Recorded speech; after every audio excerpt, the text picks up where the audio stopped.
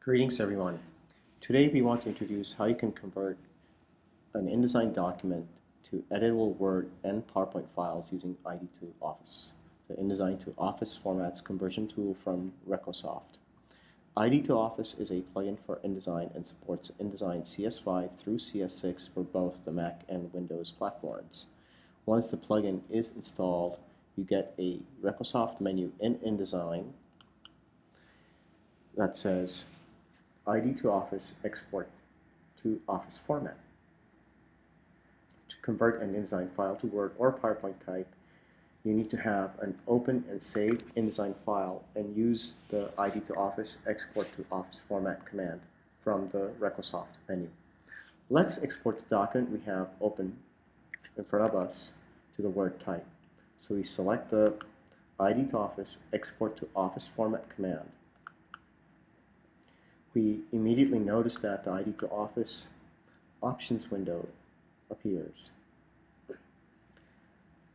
The ID Office options window allows you to make settings to fine-tune the InDesign to Office formats conversion. We'll get to the settings a little later. For now, let's export the InDesign file to the Word format and observe the results. We immediately observe that you can specify whether you want to export to the Word or PowerPoint format. As Word is selected by default, we just need to click Export in this case. Let's click Export. We now see the ID Office Export window appear where we get to name the file. As the file has already been named for us with a .docx at the end, let's just click Save. Um, ID to Office at this point in time will spend some time analyzing document and will go through the process of creating a Word document or PowerPoint document when the export is complete, ID to, ID to Office informs you, and here it's informed us, so let's just click OK. Let's go to Word, as we have it running here, and open up the converted document. So we go to Open Command in Word, and we see that the document has been created, and we say Open, and it's open. Let's compare the Word document with the original InDesign document. As we notice here, the text over here is live and editable, just like how it's live and editable in InDesign. Over here is the Word document. Let's just close this to make it easier to view. We also notice how the graphic has been retained, the image size. And we scroll down, we notice now the layout fidelity, let's just tweak our InDesign view over here. We notice immediately how the layout has also been maintained and how all the text is live and editable. We notice text properties here as being live and editable. Now, another thing we notice is that the graphics is properly placed and that the table properties are also intact. So we see a table over here. Let's just send the image behind the text and we'll immediately notice that the table is selectable. It's a real Word table that we have here. And we notice that yes, this was a real InDesign table over here. So as you can see that the formatting is very much retained. We get paragraphs, we get tables, and we get graphics. There is no need to recreate the document from scratch, which saves you a lot of time. Now, let's go back and explore the various settings available in ID to Office.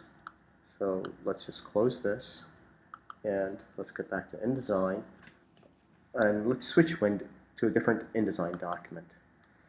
Here again, we want to use the ID to Office export to Office format command and we see that the ID to Office options window has appeared. As we explore the various settings available in this window, we learned that we can specify the image type that we want to convert to. We can specify TIFF or PNG. We further notice that you can specify the image resolution. So these are available resolutions over here. As we move further down, it says include graphics in the exported file. When this setting is on, graphics is included in the exported file. We move further down and we notice that format tables to the exact size option exists. Tables in Word and PowerPoint are not exactly the same as tables in InDesign. By having this option set, table dimensions are formatted exactly as InDesign tables. Next we have set white areas transparent in images. InDesign allows you to apply some neat transformations to graphics such as transparencies and apply other effects. A lot of these effects aren't available in Word or PowerPoint, Thus, by turning on this option, the white area of, an, of graphics becomes transparent in the resulting Word or PowerPoint file, and the background colors can seep through, retaining the look and feel of the original InDesign file. Moving further down, we see the option Convert linked frames to Office-style linked frames. When ID to Office exports the Word format, it maintains the layout by converting InDesign frames to Word text frames. During this process, if the setting is on, it ensures that frames that are threaded in InDesign are threaded in the resulting Word file. Moving down again, we see that we have convert style sheets to Office style sheets. This setting guarantees that InDesign character and paragraph style sheets are propagated to the resulting Word file. Further down, we have exclude hidden layers. When this is set, hidden layers in the InDesign document are ignored and not processed when converted to the Word or PowerPoint formats. Then we have convert page transitions to Office transitions.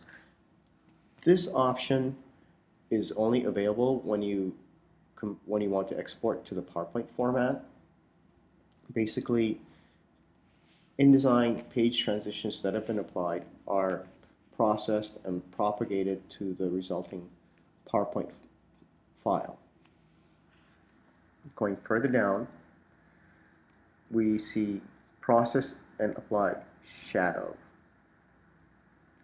When this is set, the drop shadow property is processed. When converting to the PowerPoint format, let's just click export as PowerPoint file over here. You can observe this. When you convert to the PowerPoint format, you finally get to even you further get to specify whether you want the drop shadow property as you know when you whether whether you want to apply the outer or inner drop shadow property. Finally, we have this option when converting paragraph line spacing. In InDesign, every line can have a different line spacing within a paragraph, but that's not possible in Word or PowerPoint. Thus, you have control over the line spacing char characteristics via the line via the line spacing list. You can choose from the four values that we've provided over here. You see that says use maximum value, use average value, use minimum value, and use first line value. Ordinarily, use average value works very well. Now, let's export the file that we have over here to the PowerPoint format. So let's just click export and we'll again click save. And we notice that ID to Office will go through the InDesign document. It'll process it for export uh, and it should be done in a few in a few short seconds. This is a 14 page InDesign file that is being exported to the PowerPoint format. And it should just come up right now.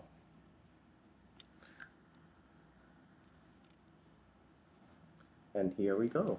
The export process is complete. We click OK.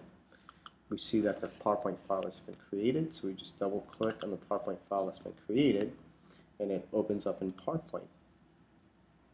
And we notice that this is the original InDesign document on the left, and the, and the resulting converted PowerPoint file to the right, we notice that the text is editable and the layout has been maintained. So we scroll down the document, we notice how the text is live. All graphics are intact. We scroll further, and we notice, again, the text is live, graphics are intact, and there's no need to recreate the document from scratch in PowerPoint. ID to Office provides a lot of control when exporting to when exporting an InDesign file to the Office formats for you to achieve the best conversion results. ID to Office has been engineered and developed by Recosoft. For more information, please visit us at www.recosoft.com. That's www.recosoft.com. Thank you.